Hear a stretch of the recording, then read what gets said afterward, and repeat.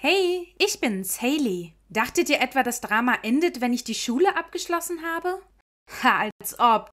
Das Drama scheint einen Weg zu haben, mich zu finden. Die Träume von mir und meinen Swing Club Freunden führten uns alle in verschiedene Richtungen. Anna und Kurt gingen nach New York, um die Musikrichtung, die sie liebten, weiter zu studieren. Während ich und Phil nach LA zogen, um uns dort am College einzuschreiben. In LA zu leben war fantastisch aber auch harte Arbeit. Es war nicht nur schwierig, es in der Musikindustrie zu schaffen, an einem Ort, an dem alle andere das Gleiche zu wollen schienen, sondern ich sah meinen Ex-Freund Eric und das Mädchen, für das er mich verlassen hatte, Clara, überall. Auf Plakaten in der Stadt, in Zeitschriften, im Fernsehen und überall anders. Aber egal. Glücklicherweise schaffte es Phil, uns ein paar Auftritte in Cafés und ein paar Bars zu besorgen. Wir gaben immer unser Bestes, auch wenn der Veranstaltungsort oft leer oder voller Betrunkener war. Wir hielten durch, aber es war harte Arbeit und von dem Geld unserer Auftritte blieb kaum etwas übrig, nachdem ich die Miete und die anderen Rechnungen bezahlt hatte.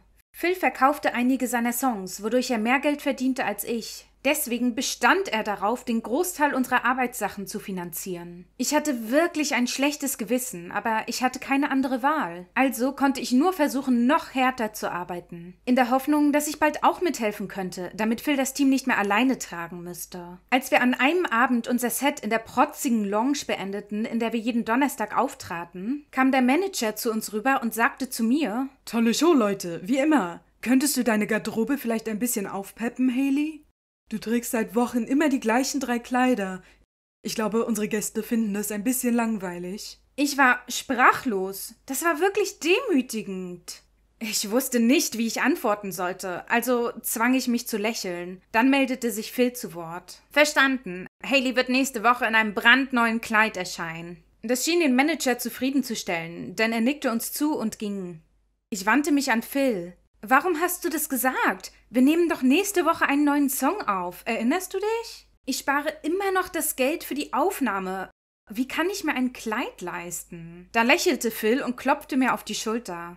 Mach dir keine Sorgen, ich übernehme das. Ich habe gerade meine Tantiemenzahlung erhalten. Lass uns ins Einkaufszentrum gehen, ja? Dann zerrte er mich hinter sich her. Ich wusste, dass Phyllis nur gut meinte, aber um ehrlich zu sein, fühlte ich mich wirklich schlecht bei der ganzen Sache. Phil schien irgendwie alles auf die Reihe zu bekommen. Während ich so knapp bei Kasse war, dass ich mir ohne seine Hilfe nicht mal ein neues Outfit leisten konnte. Meine Güte, wann war ich nur so nutzlos geworden? Als wir zum Einkaufszentrum gingen, bombardierte Phil mich mit Fragen über die Art des Kleides, das ich wollte. Wollte ich ein langes oder ein kurzes kurzes, aus Satin, Pailletten. Ich konnte keinen Enthusiasmus vortäuschen, nicht, wenn ich mich so deprimiert fühlte. Als er meine Stimmung spürte, fragte er: Hey Haley, was ist denn los? Ich sagte, du sollst dir keine Sorgen ums Geld machen. Ich kaufe das Kleid für dich. Ich antwortete: Es ist nur so, dass es mir so leid tut für dich.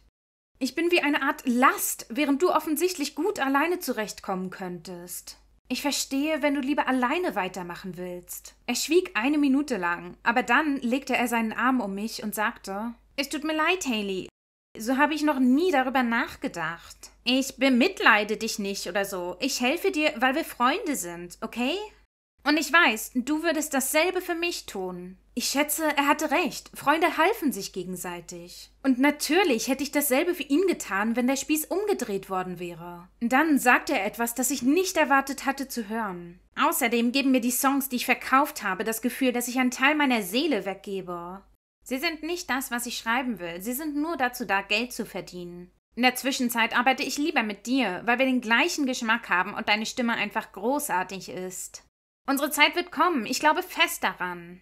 Als ich diese Worte hörte, machte mein Herz einen kleinen Hüpfer. Ich war so dankbar, dass ich Phil hatte, und wie er glaubte ich auch, dass sich unsere harte Arbeit am Ende auszahlen würde. Und so war es auch. Unsere Zeit war gekommen und sogar viel früher, als wir erwartet hatten. Eines späten Abends hatten Phil und ich in unserem Studio, naja, um genau zu sein, in einer kleinen Ecke in Phils Zimmer, mit einem Text für einen Song zu kämpfen. Plötzlich klingelte mein Handy, es war Anna, und kaum hatte ich abgenommen, schrie sie Herzlichen Glückwunsch! Oh mein Gott, warum hast du mir nichts gesagt? Sie war so laut, dass ich den Hörer vom Ohr weghielt und dann sagte Was habe ich dir nicht gesagt? Anna, beruhig dich. Du weißt es noch nicht? Dein Lied, äh, Memories, es ist auf Platz 8 der iTunes-Charts. Du musst sofort nachgucken. Bist du sicher, dass es nicht der Song von jemand anderem ist? Verarsch mich nicht. Du weißt, dass das kein lustiger Scherz ist. Schau doch einfach selbst nach, Haley. Phil recherchierte schnell auf seinem Laptop und es stellte sich heraus, dass es stimmte. Wow, unser Song war wirklich in den Charts. Wir schrien alle aus vollem Halse. Es fühlte sich so unglaublich an. Kurts Glückwunschnachricht kam gleich danach.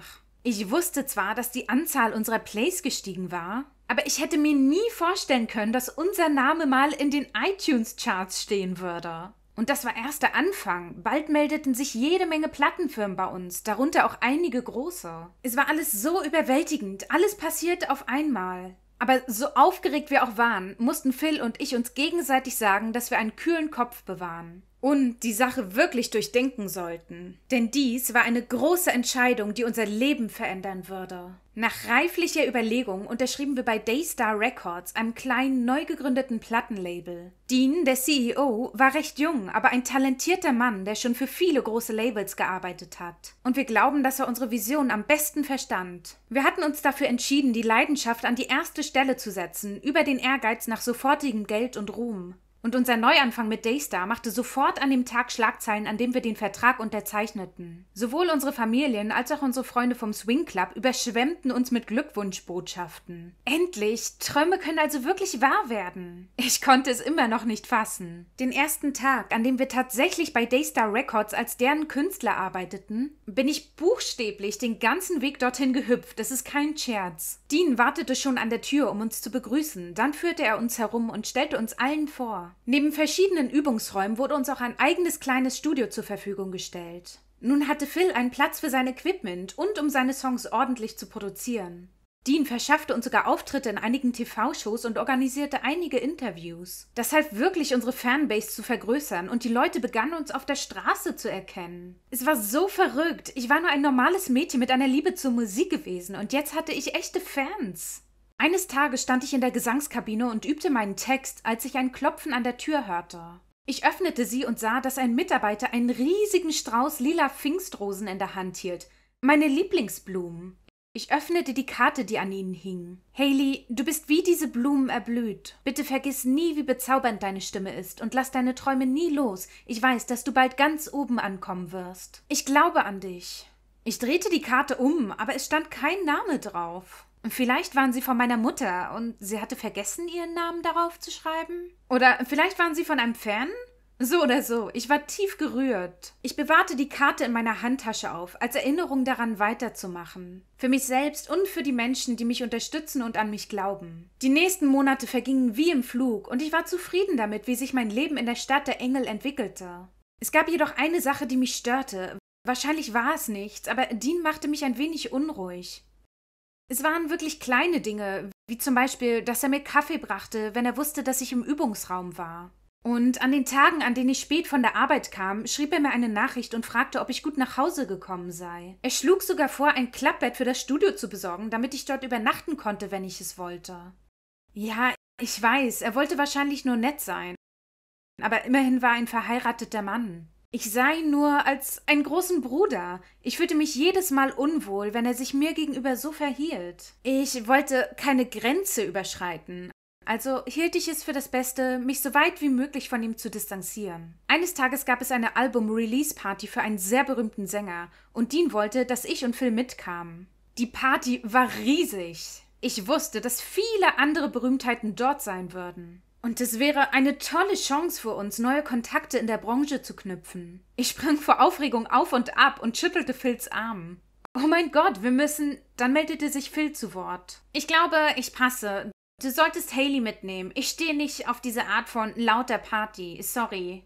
Ich beende lieber den Song, an dem ich arbeite. Ich schicke dir bald das Demo. Daraufhin antwortete Dean. Kann ich verstehen. Ich bin auch nicht so scharf auf diese Partys. Aber es ist Arbeit für mich, weißt du? Dann wandte er sich an mich. Ich hole dich dann von hier ab. Morgen um acht, okay? Ich war sprachlos. Ich würde auf keinen Fall zu der Party gehen, wenn Phil nicht mitkam. Ich meine, es wäre so peinlich, wenn nur ich und Dean hingehen würden. Also antwortete ich schnell. Ähm, ich glaube, ich kann auch nicht mitkommen. Mir ist gerade eingefallen, dass ich morgen einen Termin habe. Ich komme das nächste Mal mit. Ich zwang mich zu einem Lächeln. Dean starrte mich eine Sekunde lang mit Verwirrung in seinen Augen an, bevor er sagte: Oh, Das ist wirklich schade. Das könnte eine große Chance für euch sein. Sagt mir Bescheid, wenn ihr eure Meinung ändert, okay? Dann ging er. Ich hatte natürlich null Termine und ich war traurig, die Party zu verpassen. Aber ich fühlte mich nicht wohl in Deans Nähe und es würde sicher bald eine weitere Chance geben. Später an diesem Tag, als ich gerade nach Hause gehen wollte, hörte ich, wie mich jemand von hinten rief. Haley, warte mal. Ich muss dir etwas sagen. Oh nein, das klang wie Dean. Oh je, was hatten wir denn zu besprechen?